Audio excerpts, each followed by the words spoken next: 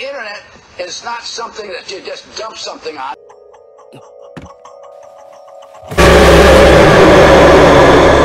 Not like I wanted to penetrate you with my stand arrow or anything baba baka.